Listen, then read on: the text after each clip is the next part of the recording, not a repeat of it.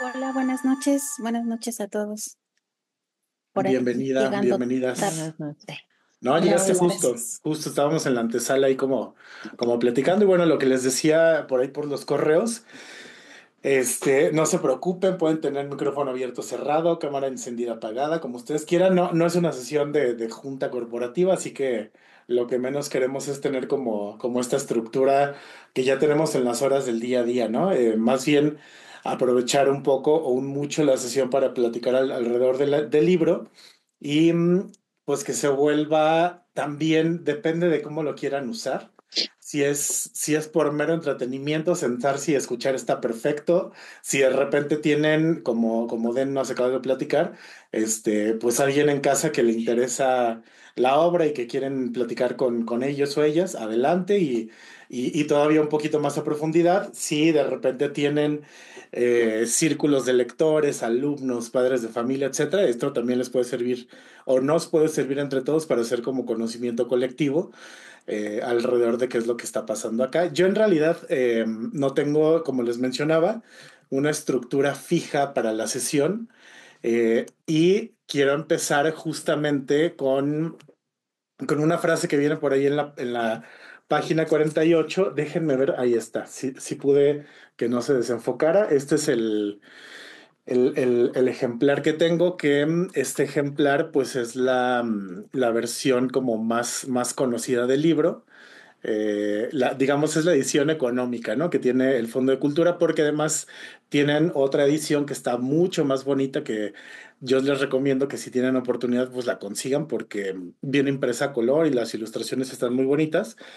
Pero de por aquí vamos a estar partiendo. Eh, les compartí por ahí también algunos, eh, algunas ediciones en digital que, por ejemplo, Minerva ya me dijo que le hacen falta páginas. Entonces, pues, perdón por eso, pero bueno, ahí nos podemos poner al, tanto con eso. Eh, entonces, bueno, vamos a estar platicando alrededor de esto y acá puse una frase que me pareció como muy bonita, o sea, muy interesante, muy bonita, que viene justamente en la página 48 del libro. Este, Sara, ¿me quieres ayudar a leerla? Hay dos formas de que un libro llegue a ti, la normal y la secreta. La normal es que lo compres, te lo presten o te lo regalen. La secreta es mucho más importante. En este caso es el libro el que escoge a su lector. A veces las dos se confunden. Crees que tú decidiste comprar un libro, pero en realidad él se puso ahí para que lo vieras y te sintieras atraído. Perfecto, muchas gracias, Sara. Oiga, pues podemos empezar con, con esto como punto de quiebre o como punto de, de partida. Eh, si pasaron por la página 48, pues seguramente se toparon con esta frase. Es un poquito más largo el párrafo, pero ahí viene como la, la parte fundamental. Y además aquí también nos da mucho pie para empezar con el análisis del tipo de libro que, que, que tenemos ahí en nuestras manos. ¿Qué, ¿Qué, les da a pensar esto? Eh, ¿Qué se les ocurre cuando ven esta frase? ¿A qué les remite? Bueno, ¿puedo empezar yo? sí, sí, sí, adelante, quien este, quiera. Ok, eh, bueno, creo que esto es como muy cierto. en el libro como que es una, es una, temática muy común de la magia de los libros y de cómo los libros eh, no solamente informan nuestra vida, sino el, el, momento en el que lees el libro eh, hace que la, el, la, perspectiva cambie, ¿no? Y, y no me quiero adelantar, pero en el libro pasa lo mismo, que cuando una persona, o sea, cuando alguien lee el mismo libro, eh, la historia cambia, ¿no? Y creo que aunque no es un libro mágico, los libros siempre cambian. Eh, yo leí algunos libros así como en mi niñez, juventud, y son libros completamente diferentes y a, los libros que he leído, el mismo libro en la, en la adultez, ¿no? Entonces, eh, como que eso es lo que me, me hace pensar. Perfecto, Sara. Este, si quieren compartir algo más, adelante. Pues a mí me llegó mucho la frase porque este yo creo que es un libro que me escogió, porque este, yo cuando vi, a mí se me juntaron dos factores. Cuando vi que tú dirigías el club, dije, ah, qué padre. Y luego que vi Juan Villoro, uno de mis favoritos así, ah, y con el libro salvaje, yo lo tengo impreso, pero se me perdió. Por eso dije, no, no necesito la, la edición este, digital y por más que lo buscaba, pues no lo hallaba, ¿verdad? y ya cuando nos la pasaste, pues ya dije, ay, bueno, ya, ya la tengo. Pero sí, como que me escogió porque ahí estaba desde hace tiempo y no lo, nomás nunca lo había leído hasta ahorita. Sí, y siento que es cierta la frase. Oye, padrísima la historia, además, ah, casi irónico, ¿no? Que hayas perdido el libro que, que habla justamente de un libro que no se deja encontrar de repente, ¿no? Así es. Sí, qué, interesante, Dulce. Y fíjate que ahí me das pie también para... Era una de las preguntas que qué bueno que por ahí lo están diciendo, que era una de las preguntas que yo tenía planeado hacer, que se me estaba escapando, em, que era justamente en qué momento llega este libro hacia, eh, en sus vidas, ¿no? Eh, en teoría, eh, si ustedes se van a las categorías de los libros en general, este está bajo la etiqueta de literatura infantil juvenil, eh, porque tentativamente el autor, el autor destino de, o el, segmento meta del destino eh, de este libro, pues son jóvenes, jóvenes adolescentes, eh, que es un poco como nos platica el libro con, con Juan, ¿no? ahí en el libro nos dice, oye, yo soy Juan, tengo esto que me pasó, que les voy a contar, me sucedió cuando tenía 13 años, etcétera, y eso nos da como como un contexto de, de, la obra. A mí particularmente me llegó, yo ahorita tengo 41 años y me llegó cuando yo justamente tengo ahorita estos 41, ¿no? Y se me hizo bien interesante porque seguramente la lectura que le pude haber dado, por ejemplo, Denise, como tu hija, debe de tener una lectura, una interpretación bien interesante desde su perspectiva, desde su óptica, ¿no? cómo los agarró, ya Dulce ya nos contó, y ya les conté, a los de Monosar un poquito también, este, Sophie, Glenn, Mine, cómo los agarró este libro por primera vez y qué, qué fue aquello que, que, les, que les movió, qué impresiones, qué, cuáles fueron las primeras impresiones que tuvieron. ¿Qué se les ocurre contarnos por ahí? Ay, si les puedo contar. Yo justo les decía que yo tengo una hija de 10 y un niño de 6. Y a mi hija cuando cumplió 8 años, yo le regalé Harry Potter el primero, ¿no? yo con la... Y de ahí Luz soy súper fan de Harry Potter, así de, ya, lo voy a leer con ella y va a estar padrísimo. Leímos el primer capítulo juntas y después me dijo, mamá, no tienes tiempo con Fer, ¿no? Y ya de ahí se agarró y se echó todos los libros de Harry Potter y no paraba de ah, leer. Mira. Soy, eso fue hace dos años. Y entonces lee así muchísimo, y lo cual a mí me, me hace muy feliz porque siempre he sido muy lectora, ¿no? Este, entonces que estar creando lectores es algo padrísimo. Y este libro lo compramos, yo creo que a inicios de año, y se lo devoró y así, mamá, es que lo tienes que leer. Y yo medio la tiré de loca porque dije es para niños, ¿no? Y así lo tenía en mi buró, ¿no? Y cuando vi tu club de lectura dije, bueno, es una señal. Y no manches, así no lo he podido soltar, me lo llevé al trabajo, estoy leyendo así en horario laboral. y creo que a la frase que estás poniendo aquí, pues sí, un libro creo que te, te toman, o sea, te llega en el momento, este, pues que lo estás necesitando, ¿no? Entonces creo que hace como un símil con la historia de, Juan que está buscando un libro, ¿no? Y cómo los libros, eh, pues se le aparecen. Y también me gusta mucho cuando están Juan y Catalina y que cada quien le da una interpretación. Entonces, eso también me parece como muy mágico de los libros, o sea, que seguro ahorita todos leímos el mismo, pero cada quien va a rescatar ciertas cosas que, que nos llegan, ¿no? Como a, a, nuestro momento y a nuestra realidad y a lo que estamos pues nuestros sueños, nuestros todo, ¿no? Entonces, eso me, me pareció súper interesante y, lo estoy disfrutando un buen. Oye, qué, qué bueno que te enganchó de esa manera, porque además yo creo, Denise, y seguramente por ahí me van a poder decir lo mismo, eh, como está fragmentado en estos capítulos que te devoras, así te los echas bien rápido, sobre todo por ahí creo que el capítulo 17 al 19 por ahí, muy cortos, ¿no? O sea, tres, cuatro páginas te los comen, entonces eh, algo bien interesante que yo también encontré ahí con, con la obra y con el autor. Si han leído más de Juan Villoro, él tiene un, un estilo de, de, escritura bien peculiar. Eh, mi opinión es a la gente, no, no es un autor que me dio, les dé X y sigo, sigo sin entender mucho el por qué, porque me gusta, no, la, la, neta no me gusta el estilo de Juan Villoro, la neta sí me gusta, ¿no? Como que no, no se pueden quedar X como con otros autores y justamente creo que parte de lo, de lo divertido, de lo cómodo de, de, esta obra es que nos va dando como estos pequeños ganchos para decir, en cinco minutos me puedo leer un, un capítulo, pero por algún motivo me quiero leer seis, siete de golpe, ¿no? Este, entonces, bueno, pues qué bueno que se, se, se logró inmiscuir ahí entre, entre reunión y reunión eh, y que, que lo, lo, pudiste avanzar. Ahorita pues vamos a arruinarte la experiencia del final, ni modo, sorry. Pero espero que eso te dé motivación para, para darle, ¿no? Sí. Este, tú, Mine. Ah, bueno, pues yo eh, sí creo que este libro a mí me buscó y me buscó y me atrapó. A fin de cuentas me atrapó yo no podía dejar de leerlo y justamente para que no me contaran el final en esta sesión, hoy me apuré a leerlo. Ya ves que ayer te vi y te dije, me falta, me falta. Pues hoy busqué el tiempo porque quería terminarlo yo, no escucharlo aquí, ¿ves? Entonces me apliqué, me estacioné en la calle, en ahí en una sombrita cuando pude, hasta que lo acabé de leer. Y me sorprendió el final, sí me sorprendió, pero no me decepcionó, ¿ves? Y me encantó este libro porque es, no sé, sí, sí te escogen los libros, pero además, ¿sabes qué, Jorge?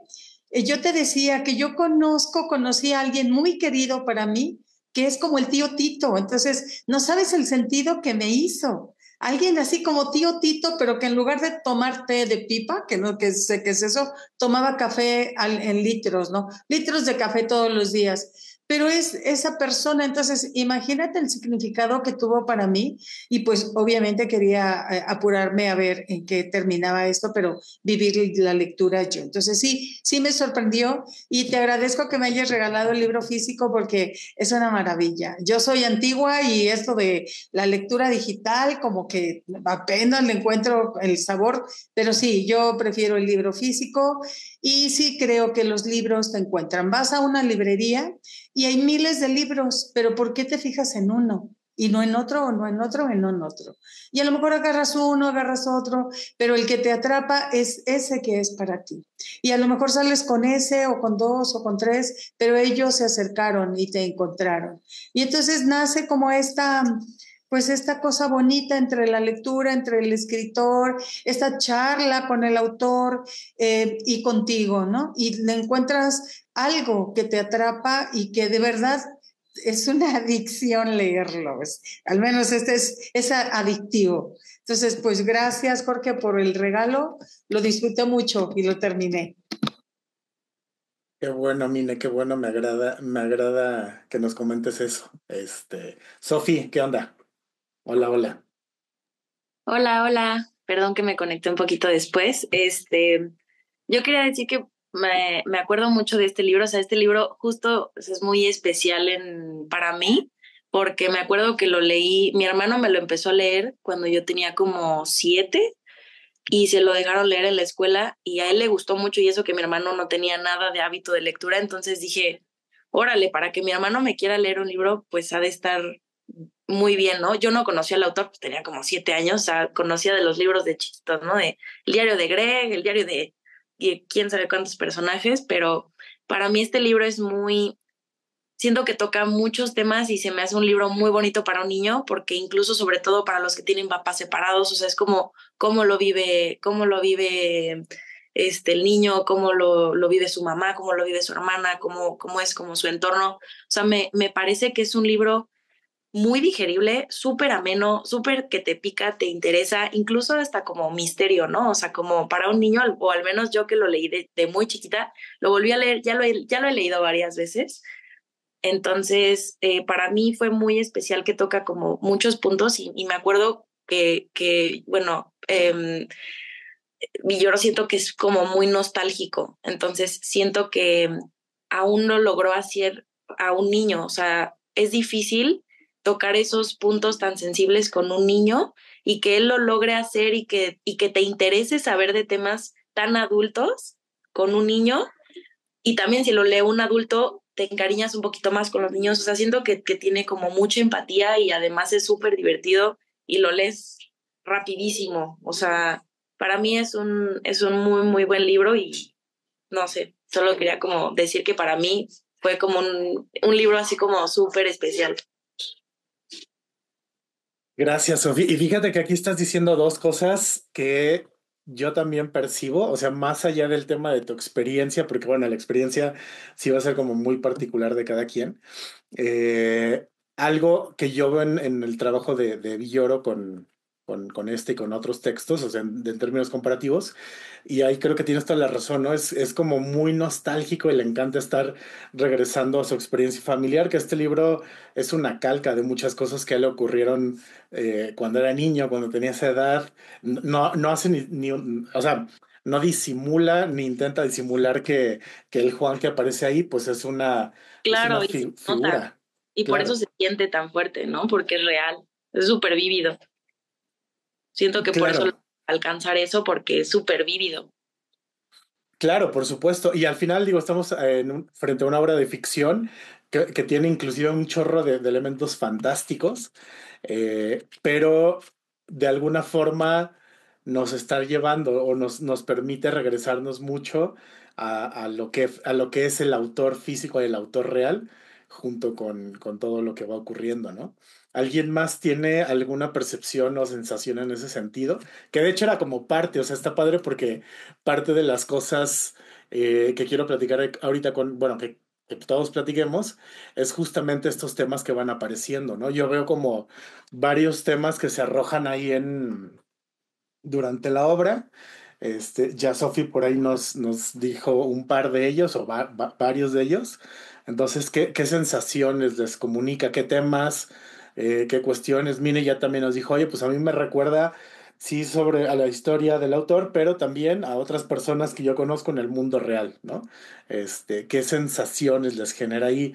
Eh, cercanía, alejamiento, ¿qué, ¿qué, es lo que por ahí les, les brota? ¿Qué me pueden o qué nos podemos comentar entre nosotros?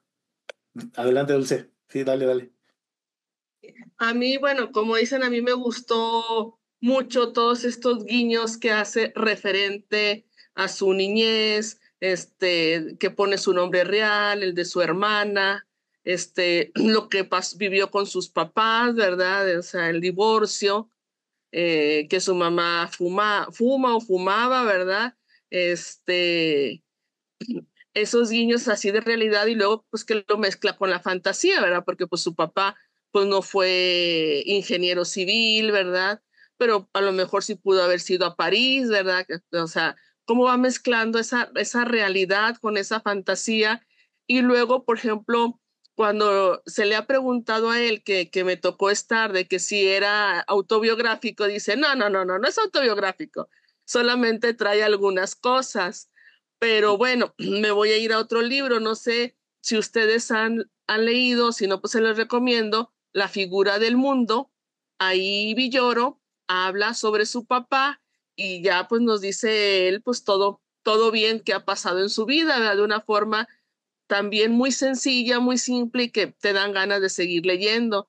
Aquí lo único que yo me quedé con la duda y ya no pude consultar es si su esposa, este, no sé si la primera o la segunda se haya llamado Catalina. Esa sí me dejó con la duda. Oye, es buena duda y creo que nos la podemos poner de tarea si es que alguien no sabe la respuesta, porque mm. yo, yo también me quedé más como con la parte romántica de la historia y no me fui a buscar si sí o si no. Entonces creo que creo que es algo bueno que, que puede brotar por ahí. Oye, Dulce, y muchas gracias por el, por el comentario, porque justamente, y mm, mira, bueno, a, a, a todas y a todos justamente está acá, ¿no? Eh, y, lo tengo aquí encima del escritorio por, mm. por eso, por, por la conexión que mm. hay en esta obra junto con la del libro salvaje. La recomendación que yo les haría es agarren los dos, uno primero, el otro después, como ustedes quieren. Este, ¿Cuáles son los que recomienda? La, la figura del mundo. que me lo pego así en la cara para que no se, no se borre. Sí. Este, y este la figura del mundo, eh, pues digamos, es, es, un, es un trazo mm, eh, que, que, remite mucho a las memorias familiares de, del papá de, de, Juan, que fue Luis, que Luis también fue una figura bastante importante dentro de la literatura y la política nacional, etcétera. Eh, y de repente ibas haciendo como estas conexiones entre uno y otro y te vas dando cuenta de qué tan cercano o no si es, si es que esa es la forma en la que lo queremos leer, porque si no agarras uno no pasa nada con el otro, por supuesto, pero nos ayuda a contextualizar mucho mejor, de, mucha mejor manera lo que, lo que Villoro empieza ahí como a soltar, ¿no? Eh, y, un, y un tercer libro, este que yo les podría recomendar que no tiene nada que ver con, con la parte narrativa argumentativa de esto, pero que nos deja, de ver, nos deja ver eh, mucho el, el estilo o el sazón de escritura de Villoro es justamente uno que se llama Aforismos. Em, Sara, por ahí lo debes de tener junto al, en, tu librero. Este, es un libro plateado chiquito de, la colección del Fondo de Cultura. Em, creo que está como arriba a la izquierda, algo, algo, algo así me acuerdo por ahí de la, biblioteca. Este, y, en aforismos, más allá del tema del, texto, porque lo que hace ahí Villoro es abordar la obra de un escritor alemán y, particularmente nos, nos, hace un trazado de lo que va escribiendo. Eh, a mí lo que me parece muy rico en, ese tercer libro del que estamos enlazando es justamente la manera en cómo escribe Villoro. Eh, para mí eh, me da un sentido como de, que, de mucha agilidad y como mucha, mucha picardía, es como muy, muy ligero, muy, me recuerda eh, algunos, no sé, directores de cine gringos, de repente así como, como, como, no sé, Woody Allen, que son como muy, muy precisos, pero, pero digamos, no, no es que tengan una profundidad eh, incomprensible, pero de repente hasta dan risa, ¿no? Van escribiendo de manera muy ágil. Eso es lo que a mí me, me remite. No sé ustedes cómo, cómo les vaya dando esta impresión. Eh, pero uno que creo que sí podría ser buena forma de darle seguimiento, eso es lo, que nos decía Dulce, ¿no? La figura del mundo, porque ahí nos va explicando el gran tramado que tiene eh, o el gran peso histórico que tiene la familia sobre, sobre el autor y que finalmente en el libro salvaje, eh, como mencionaban ya hace rato, ¿no? Este, va y lo, plantea ahí como muy fuerte. Entonces creo que por ahí estamos ya teniendo una exploración bien interesante de algunos de los guiños que nos hace el autor. ¿Qué otros temas por ahí se les ocurrió eh, observar? ¿Qué, otros temas creen que eh, por ahí el autor nos está dejando entrever? Porque según yo hay como cuatro o cinco temas que los va revolviendo, eh, pero creo que los principales por ahí ya los, ya los platicamos. ¿Qué otras ideas les va dejando el autor en el camino? Pues el amor a la familia, a los hermanos, o sea, la relación de hermanos que se ve padre, por ejemplo, que el, el muñeco más tonto se llame Juanito. Ah, el muñeco del hermano está buenísimo. Claro, claro, claro. Oye, yo justo tomé también una, una, es que luego en vez de escribir las citas las voy tomando foto, entonces estoy viendo una que dice. No, está bien, está bien, adelante, dale. Este, ajá, dice, es posible que un libro cambie cuando lo lee otra persona. Y el tío le responde, lo que dices es interesante, cada libro es como un espejo, refleja lo que piensas. Eh, los grandes lectores le agregan algo a los libros, los hacen mejores. Y eso, o sea, es como bien mágico, ¿no? O sea, como pues sí, cada persona que lee un libro es pues la interpretación de cada quien em, y, la, y la manera en la que cuando Catalina lee un libro y luego lo lee Juan y cuando, bueno, ahí voy justo donde ya Juan va a invitar a Catalina a la, biblioteca, a la biblioteca y que el tío Juan no, el tío no quiere, pero entonces me parece como, pues no sé si es un tema, pero es algo que me parece bien interesante que, aborda el libro. Claro, claro, claro. Y sobre todo ahí tenemos esta pues es este carácter adolescente entre el autor principal y ustedes qué dirían de, de, Catalina, que se vuelve parte del staff esencial o se mantiene en un lugar un poquito menos protagónico?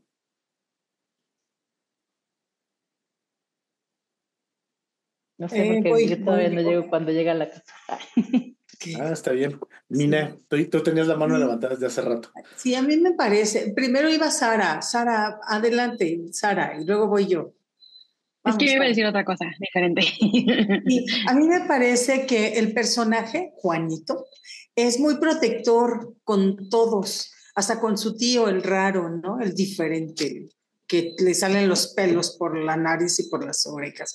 Pero sí se vuelve muy protector y cuando eh, él siente que su, se despierta un sentimiento muy especial, que no es tan de hermanos con Catalina, creo que ella sí se vuelve una protagonista. En un momento él dice, o sea, no puedo hacer esto solo, necesito a Catalina porque entre los dos hay una sinergia especial hay una fuerza. Entonces, yo sin ella en la biblioteca no es lo mismo, ¿no?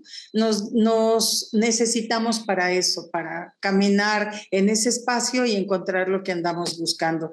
Y a mí me gustó eso, cómo él describe su preocupación, pero sin ser obsesivo, por la mamá, luego por el papá, por el tío, por la hermanita, que la hermanita esté bien, cómo le hace promesas que habrá que ver si le cumplió después, ¿verdad? No sabremos. Habrá que buscar ese seguimiento por ahí, pero le promete cosas lindas a la hermana, ¿no? Pero con ese afán de, sí, sí, hermanita, yo te cuido, yo te protejo y como no está papá, pero estoy yo, yo te voy a llevar, ¿no? Entonces, sí, creo que Catalina obviamente es personaje protagónico en esta historia. Perfecto, Mina, gracias. Sara. Yo iba a decir algo, o sea, a ese punto, que creo que un tema como muy recurrente a lo largo de la obra es que eh, como que unos se protegen a otros. Ah, el, el, primer momento en el que yo veo como alguien de protección es la mamá. Bueno, esta es ya mi imaginación, pero yo siento que la mamá lo manda a casa del tío como para protegerlo y que no pase como el momento del divorcio o de la separación, ¿no? Que a lo mejor no la vea, no la vea triste porque están separados o porque están pasando por un mal momento. Y luego llega eh, Juan a casa de Tito y Tito le, yo siento que le da como esa mm, tarea o esa aventura, ¿no? Este, para que tenga, esté, esté entretenido y que no esté pensando en los problemas de su mamá, porque este es otro tema, pero como el, niño escarlata que lo está como atormentando, que le está dando ansiedad, eh, justo está teniendo ese sueño cuando el tío le dice como, ay, es que fíjate que no encuentro este libro y es salvaje, eh, y le dice que él es un lector príncipe. A mí me parece que es como un acto de cariño del tío con todo lo loco que está, eh, como para darle algo para que él se entretenga y para que su hermanita también se entretenga y después hasta Catalina.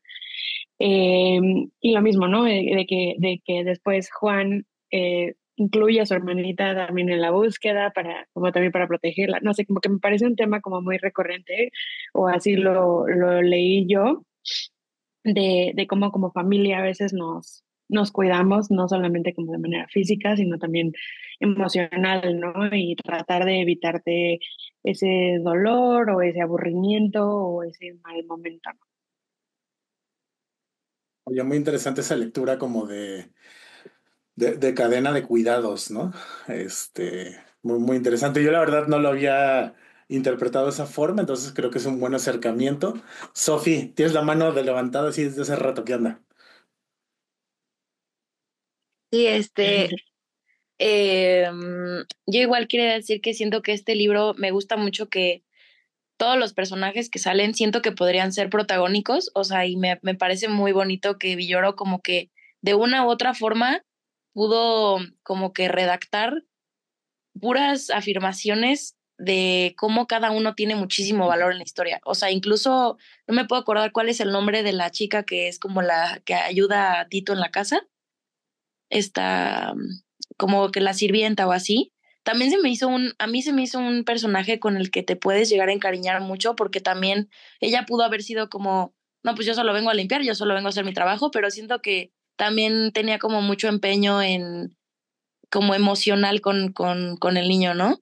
Eh, también hay, hay, también Ruth, la que ayudaba mucho a su mamá, también se me hace como un súper personaje y alguien súper importante en la historia porque su mamá estaba deprimida, o sea, y a mí esta historia se me hace mucho como, pues como Juanito siento que va creciendo y para mí, por ejemplo, yo de niña no entendía porque el sueño escarlata y siento que ahora de grandes es como, bueno, ahora, que soy un poco más grande puedo entender que es como, eh, pues como la ansiedad va, va atacando también en tus sueños, ¿no? Y, como que yo no había relacionado nunca ese tema de niña hasta que crecí y dije, ah, por eso tiene estas pesadillas, por eso, por eso también siento que Juanito se enamora justo en ese momento, porque entonces siento que puede ampliar mucho más su mente y hacer conexiones mucho más fuertes, porque es como ahora ya no tengo a mi mamá, y creo que a todos nos pasa que también buscamos como buscar a nuestra gente, buscar a tu, a tu red y siento que también es un momento en donde Juanito justamente es muy susceptible a pues caer tan rendido a esta, a, Catalina, porque es como, eh, todo está un poco incierto con mi mamá, con mi hermana, con mi tío, con, conmigo, y entonces como que conocer a alguien nuevo, incluso tú, que, o sea, yo que lo he vivido, es como súper, súper significativo en, en ese momento, ¿no? Y es como donde más dejas ser tu parte como vulnerable y se me hace, no sé, este libro siento que toca demasiados temas y, y justo creo que cada quien empatiza conforme algo le ha pasado en su vida porque como toca tantos temas, siento que puedes llegar a familiarizarte y como eh, relate, este, mm, relacionarte mucho con, con, con los personajes, ¿no? O sea, incluso como es que yo también si fuera mamá en, esa, en, ese momento, qué difícil, pero también dices, oye, pero no es culpa de los niños que los dejes como así, ¿no? O sea, que estés tan ausente, entonces no sé, ya me debrayé, pero eh, para mí es como un, un, un súper librazo. Oye, fíjate qué, qué interesante, Sofía, lo que nos comentas sobre estas cosas que de repente a lo mejor en la infancia o en la adolescencia o no vemos o las vemos como nos toca verlas en ese momento, ¿no? Entonces, pues sí, qué bueno que yo quisiera que todos los que estamos aquí no, no hayamos tenido estos sueños escarlata a los 12, 13 años. Ya que nos den después, pues ya grande, grandes, ahí veremos cómo lo, lo arreglamos, ¿no? Pero, pero sí, tienes toda la razón, esta parte creo que es una exploración bien interesante sobre a estas eh, cuestiones que a él le, preocupaban. Y algo, fíjate que regresando a la parte de la obra, algo que me gusta es que el autor le da justamente seguimiento aquí al, al, tema del sueño, ¿no? En algún punto, yo la verdad no me acuerdo en qué capítulo, nos vuelve a recordar que empieza este sueño como a, a medio modificarse y luego como que va desapareciendo, ¿no? Eh, y me gustó porque hay muchos autores y ustedes la pueden ver en libros, en películas, en series, en, en cualquier cosa que tenga que ver con narrativa, que de repente nos están platicando algo y dejamos de, de saber de ese algo que nos platican, ¿no? Sara creo que era contigo con quien hablaba, es que no me acuerdo si era una película o un libro, de algo que nos venían contando y de repente cambia la temporada y creo que se, se olvidaron por completo de eso, ¿no? Entonces acá es una, es una, una buena, eh, digamos, es un buen seguimiento que tiene tanto el autor y el editor para, para meter este incidente que viene muy temprano, ¿no? Nos platican de este sueño muy rápido en la obra eh, y que nos va dando a entender desde una postura muy, muy emocional y muy sensible cómo, cómo va evolucionando y voy a hacer el vínculo hacia lo anterior, ¿no? Eh, si hablamos de, Catalina, eh, pues como ya llega a solucionar o a reparar o a abonar o a como ustedes le quieran poner muchas de las cuestiones que él mismo traía, porque vamos a ponernos ahora en el lugar de Juan. Eh, Juan es la figura donde se centra el hecho de que Efrosina, que es el ama de llaves, la ama de llaves, que Ofrocina anda muy estresada porque el tío deja migajas de, de, galletas por todos lados, ¿no? Y está muy preocupada porque el tío lleva mucho tiempo solo y se va a volver todavía más loco y le preocupa que ah, si alguna vez estuvo casado, que ya nunca quiera convivir con las personas, ¿no? Y le preocupa que su hermana esté bien y que tenga sus peluches a la mano. Eh, y algo también muy interesante eh, que hace el autor a través del, del, personaje es cuando introduce justamente a Catalina, nos dice, bueno, nos empieza a hablar eh, co cosas muy lindas desde la perspectiva de, de, Juan, o bueno, Juan mismo, ¿no? Es el que nos está contando todo el libro. Y hay algo que me gustó mucho también, que mm, él menciona el diente chueco de Catalina, no sé si se acuerdan, eh, que por ahí dice, oye, es que me gusta, y sus ojos, y la manera en cómo habla, y, y cómo huele a botica o a, o a, o a mm, farmacia, este, pero una de las cosas que más me gusta es que tiene su diente chueco, ¿no?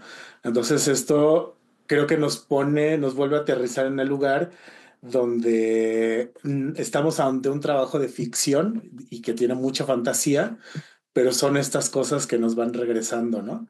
Eh, cuando él sale de la casa, pues nos vuelve a conectar con este mundo real o este mundo terrenal y de repente nos lleva ahí a escenarios completamente mm, fantásticos cuando nos habla de todo aquello que va ocurriendo dentro de la, de la casa, que es, para mí es como una casa biblioteca, eh, estos escalones que se van formando, este, eh, que le van ayudando a construir, digamos, el camino o el paso cuando no va no va viendo, pero bueno, es como todo el entramado de, cuestiones. Así que gracias, Sofi, por, por extenderte, porque nos diste ahí como un chorro de, información contextual.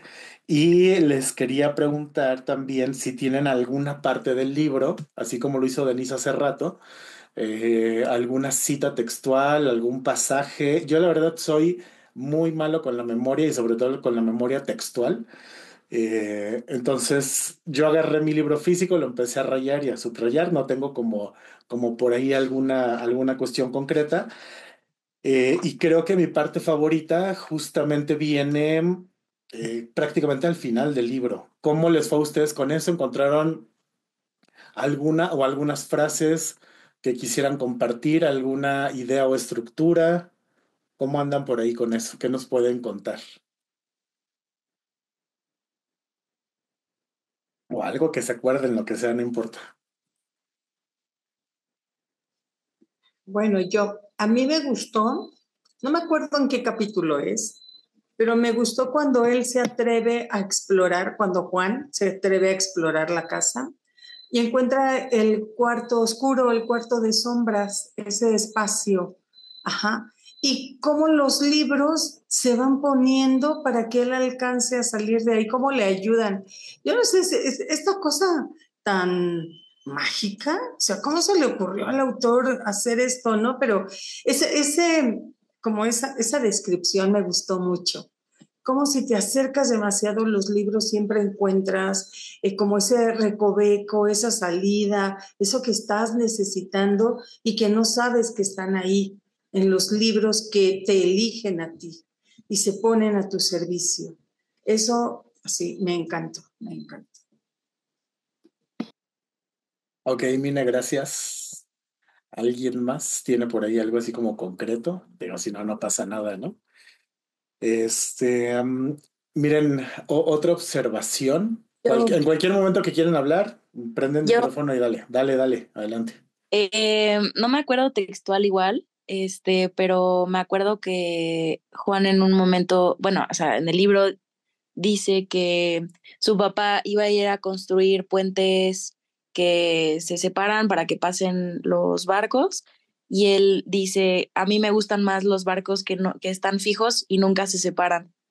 Y siento que todo el tiempo habla como un poco como en metáfora también, o sea, mucho, en muchas, muchas, muchas partes, este, como de cómo lo vive, o sea, siento que es como su terapia este libro muchísimo, o sea, siento, y, para muchos, ¿entienden? O sea, digo, mis papás no están separados, pero siento que pude empatizar mucho con, con mis amigos que lo estaban o con esta situación. Entonces, esa, esa eh, como parte del libro en la que lo dice, quería como comentarla que me gusta mucho cómo se expresa de, pues como con mucha, mucho sentimiento, ¿no? Gracias, Sofi. Sí, sí, sí, claro. Y, es bien interesante también antes de, seguir con Dulce, bien rápido mi comentario, eh, porque si se acuerdan, Juan, él lo dice muchas veces y casi que es como, como comentario que haces cuando sales de terapia, ¿no? Oye, no me gusta que mis papás eh, no estén juntos, tampoco me gusta que mi papá tenga esta amiga que lo estaba esperando ya en, Francia, pero... Eh, casi casi dice, pues es su decisión y ese social le va a ayudar, adelante, ¿no? Entonces hay cosas bien interesantes tanto en la parte metafórica como en la parte simbólica, claro. Dulce, Sara, adelante. A mí, bueno, yo subrayé mucho. Dos frases que me gustaron mucho. Viene en la página 39, bueno, del PDF. Una biblioteca es un armario, una colección de almas, sobrino. Los libros se mueven como las almas en los cementerios para acercarse a alguien o para huir de él.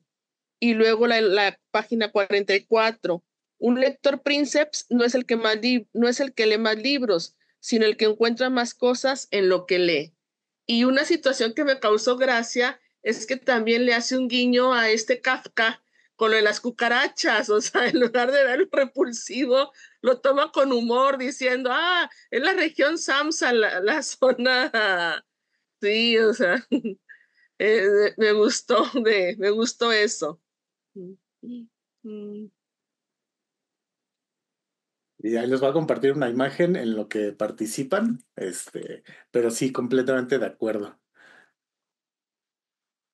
Bueno, yo quería decir que también una de mis partes favoritas es cuando el tío le dice que él es un lector Princeps y creo que eh, e, es parte de lo mismo como del tío, como darle la bienvenida a la casa, aunque es como tan, tan extraño y tan huraño y no es el personaje más cariñoso del mundo. A mí se me hace como un momento en el que está siendo cariñoso con él, así como de tú eres un lector especial y eh, casi casi como tú eres como yo, ¿no? O como eh, tú eres como, em, como que e-, eres suficiente para mi biblioteca y eres, este, eres una buena persona para buscar el libro salvaje, ¿no? Eres como el indicado. Entonces, esa parte creo que me gusta mucho. Y otra parte que también creo que mencionó Mine es que eh, me gusta muchísimo este juego que hace el autor entre, el, entre la magia y lo real. Y creo que es, es lo que más me hace sentir a mí como, como regresar a esa, esa parte de la infancia, porque cuando eres niño, la realidad y la ficción son como, están muy entrelazadas, no están tan separados como en la adultez. Y eso me encanta porque lees el libro y el libro no te tiene que decir, esto es falso. O sea, tú sabes, tú sabes como adulto que es seguramente imaginación, ¿no? O ficción, pero no importa. Y para la historia lo importante es encontrar la magia de los libros, aunque no sea una magia literal, ¿no? Oye, ya me gustaría construir literal lo que estabas diciendo, Sara, fue así de, ah, claro, o sea, esa como, pues sí, la magia que solo se vive en los libros y que solo entre lectores nos entendemos. no sé si les pase, pero a mí de repente es como, como, un poco frustrante que pues a la gente alrededor de repente pues no leen, ¿no? o es difícil encontrar esa comunidad lectora y cuando la encuentras es como, uff, o sea, con alguien, ahorita con ustedes estoy disfrutando un buen, o sea, encontrar gente que se emocione por la lectura, por la magia, por los libros, por las historias y por cómo son también terapéuticas también, o sea, lo que dice Sofía de que pues te, conectas con esta persona, con este chico que está viviendo y como en metáforas la separación de sus papás, este, híjole, es como súper mágico. Entonces, este es como un libro que además la historia está genial, es súper terapéutico. Y saben también que me gustó mucho a mí cuando el tío le dice, ah, ya, cuando lo lleva a ver las fotos eh, de la familia, este, pues como antiguas, y que ve a su papá y que dice, ay, no inventes, me sentí más grande que mi papá, ¿no? Y que entonces el tío le empieza a decir que, pues que aunque todavía sea chiquito, pues él ya está creando su, camino y que ya toma sus decisiones y que ahí empieza así de, ya no me quiero tomar el hierro. O, o sea, como que ahí siento que crece cañón. Este, y me encanta cómo, cómo también asume ese papel de, ya soy grande, ¿no? Entonces, como que también me identifica mucho por ahí en ese momento en la vida donde uno ya se quiere sentir grande, pero no sabe si eres niño o adulto o qué. Entonces me encantó leer eso en este libro, como que me acordé de mí a esa edad. Yo igual quería decir que siento que justo mm, este libro se me hace como muy que Juanito encontró como mucho su, o sea, tuvo como mucho, lo más reconfortante que me parece de este libro también es que encontró como mucho sentido de pertenencia en los libros, o sea, sin que alguien le tuviera que decir, y ponte a leer, o sea, creo que es un súper buen abordaje porque a un niño entre más lo quieras forzar, sobre todo al menos en nuestro país, con la lectura es como peor que la limpieza, ¿no? O sea, es un castigo espantoso y me encanta que Juanito lo pudo vivir como suyo, o sea, fue como su decisión, aunque justo no había mucho que hacer, pero es como tener un jardín enorme. O sea, si no tienes pantallas, ¿qué es lo que vas a hacer? Pues te vas a salir al jardín. ¿No? O sea, a mí lo que me, lo que me gusta mucho de este libro es que eh, creo que él va también, así como casi que la religión, él va construyendo mucho, ya empieza a hacer mucho su construcción a, través de la lectura y de los libros y obviamente él no pone que los lee todos, pero sí cuenta mucho cómo se va fascinando en, en los libros, ¿no? Entonces se me hace como muy bonito en, en cuanto a este hábito de lectura, que los que le da también mucha importancia a lo bonito y esta magia que, que hablan de, de la lectura, ¿no? Entonces, se me hizo como un muy buen abordaje de cómo Juan empezó a, a leer y a, y a, interesarse mucho por los libros por su cuenta sin que alguien le tuviera que decir, su tío sobre todo, ¿no? Que, que es el que pudo haberlo hecho, lo dejó que él solito buscara su camino, ¿no? De, de una u otra forma, con esa casa llena de libros, lo iba a terminar haciendo, ¿no?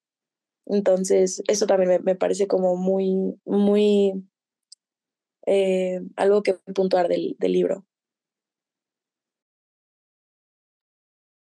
Oigan, sí está bien interesante cómo, cómo vamos hilando esta parte, eh, porque claro, es una, es una consecuencia, a mí me parece como que muy voluntaria por parte del autor, el, el hecho de fomentar o intentar fomentar la lectura a través de la historia, que hacia afuera es difícil encontrarla en libros, en otros libros, ¿no? Tenemos estos libros a lo mejor que son plenamente teóricos de cómo inculcar lectura en personas de cualquier edad, ¿no? Em, ayer Minero y yo platicábamos sobre un libro que se llama Y si leemos, luego se los, se los comparto, que es básicamente un manual para guiar a personas de cualquier edad a la lectura eh, y por otro lado tenemos estos libros que naturalmente nos invitan un poco a ir, a ir hilando, ¿no? Glenn, adelante. Bueno, pues yo me siento aquí como la que no hizo la tarea en realidad, este, antes de entrar a esta sesión, le decía a mi hijo, no sé si entrar o no, porque he leído nada más un par de, de hojas en, del libro. Este, y me dijo, no entres, para que das vergüenzas ahí, no entres. Dije, no, como toda valiente voy a, voy a entrar. Y, levanté la mano porque en realidad eh, al inicio hiciste una pregunta de que cómo, cómo nos llegó este libro. En realidad, cuando hablé contigo sobre este libro, yo te decía que este libro yo lo recordaba como que se lo había comprado a mi hijo. Y sí, este, le pregunté, oye, ¿te acuerdas de este libro? Me dijo, sí, sí tengo el libro. Y yo a mi hijo le he comprado libros desde que tiene tres años. Desde ahí se volvió como obsesión y he comprado muchísimos libros para él. Dentro de los libros, algo que me causó como nostalgia fue que en este libro le puse la fecha en el que se lo regalé. Fue el 23 de noviembre del 2017. Este libro, cuando lo empecé a leer, que realmente fue muy poco y que gracias a ustedes y a un audiolibro que en la oficina estuve escuchando, realmente siento que la historia a los 12 años que él pudo haber leído, pues fue algo fuerte, porque en realidad eh, lo que Sophie decía, pues sí es una cuestión de, de, y no sé, alguien más comentó de que te identificas de alguna manera en tu historia personal. Entonces, me imagino que para mi hijo sí ha de haber significado muchísimo el libro. Se, hay varias partes que, de acuerdo a lo que ustedes mencionan, sí creo que, que fue fuerte y que él, en cuanto yo le pregunté del libro, fue rápido y me dijo, ay, este, sí, tenlo, ¿no? Al menos le una, ve viendo una reseña o algo así, me dijo para que no entres así en ceros. Este, estoy aquí en realidad porque de joven sí me gustaba mucho el leer. Este, mi papá era quien me compraba los libros, yo era muy pediche y yo sí era de este, quiero este libro, quiero este libro y, y sí me obsesionaba. Creo que de ahí fue que mi hijo le ha gustado también lo de los libros y por eso él también fue pediche conmigo. Este, ¿por qué estoy aquí? Porque en realidad sí, aparte de mi profesión, sí me gustaría como retomar esa parte de leer algo totalmente diferente a lo que a lo que veo, ¿no? O sea, me le he pasado como estudiando contabilidad, leyes, podología, tanatología, o sea, cosas de ese tipo, pero sí me gustaría como retomar la parte de algo, eh, lecturas como de este tipo.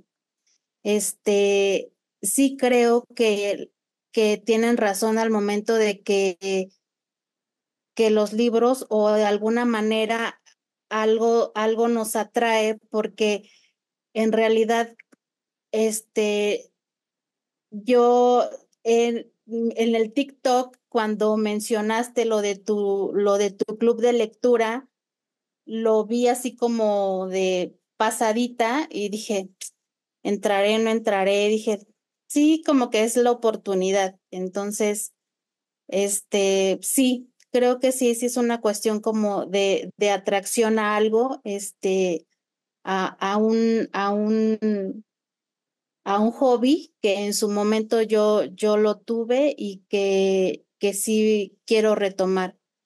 Eh, gracias y a todas, porque la verdad es que es, creo que sí es, es muy padre estar escuchando sus opiniones y, y aunque yo no lo leí, la verdad es que en mi mentecita en este ratito he estado con la imaginación viendo todo, todo el libro, este, de lo que no he leído, ¿no? Entonces, gracias a todos, es, a todas, este, estoy eh, muy, muy, este, agradecida con todas y, y muy contenta.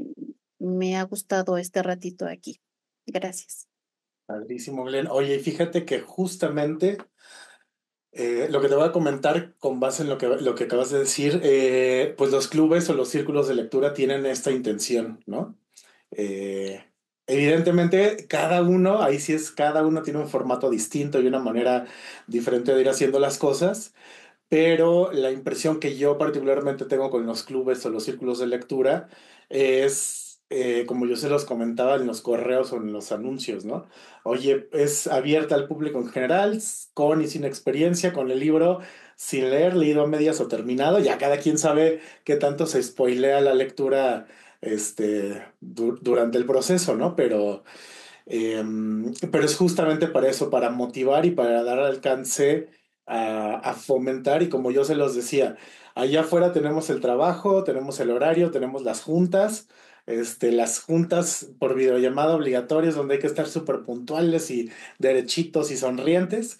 Eh, y los círculos de lectura es justamente para explorar esta parte porque inclusive puede ser una forma bien agradable de abordar la lectura, de, de hacer como estos vínculos eh, y de hacer cosas más allá, decir, afuera del, de los propios textos como tal. Entonces, mi sugerencia es, en la medida de lo posible, síguete integrando estas actividades.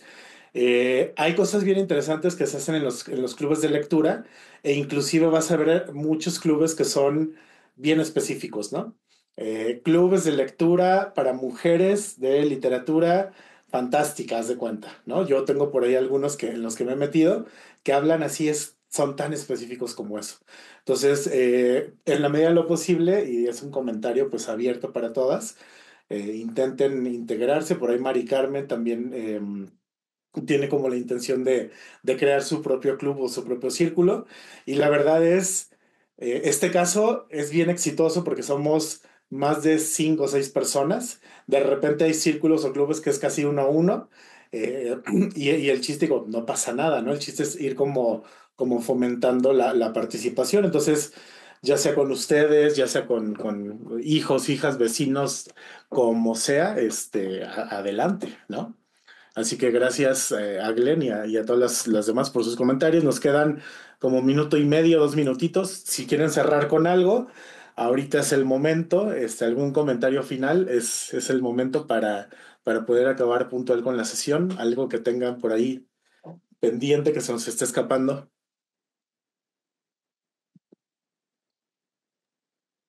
¿Qué libro toca?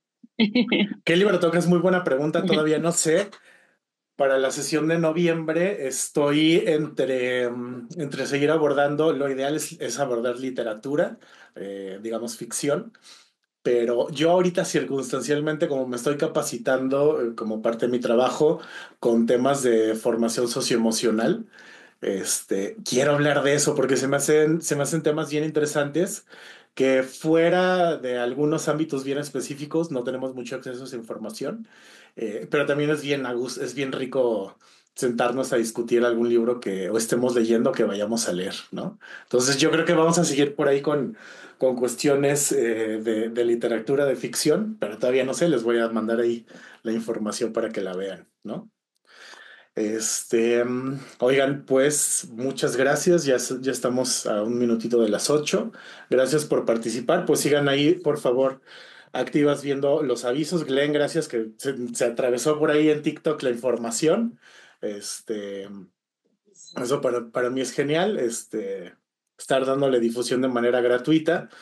Y, y pues nada, les mando información. Nos vemos pronto y también busquen otros clubes de lectura para que vean el chiste es como enriquecer las experiencias, ¿no? Den, me dio mucho gusto verte después de tanto tiempo, ¿no? Dulce también contigo. Claro. Muchas gracias. Estuvo padrísimo. Gracias por el espacio y por compartir. Muy padre, muchísimas gracias. Sí, estuvo bonito. Un gusto conocerlas a todas.